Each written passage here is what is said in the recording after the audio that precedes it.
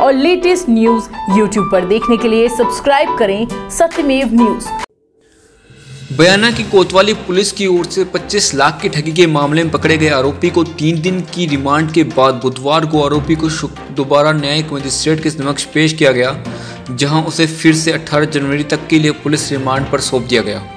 कोतवाली प्रभारी मदनलाल मीणा के अनुसार झालावाड़ ज़िले के कस्बा भवानी मंडी निवासी कब्बू वेग उर्फ़ मांगीलाल पुत्र वाहिद वेग को कस्बे में कुछ माह पूर्व एक मोबाइल फ़ोन विक्रेता से धोखाधड़ी कर 25 लाख रुपए की ठगी के मामले में गिरफ़्तार किया गया था, जिससे पुलिस कड़ी पूछताछ कर रही है, लेकिन आरोपी काफ़ी शातिर किस्म का होने की वजह से उसने पुलिस को अभी तक कुछ नहीं बताया है।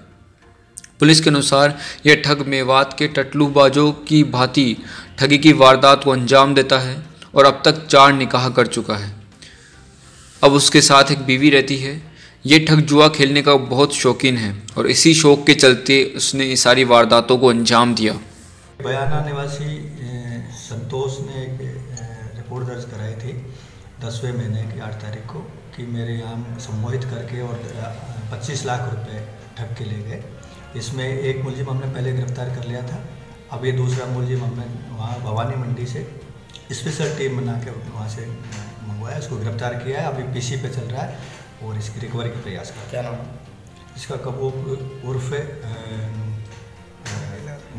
है और इसके बाद में अभी एक और मुलजिम शेष रह रहा है जिसकी भी हम तलाश सरगर्मी से कर रहे हैं।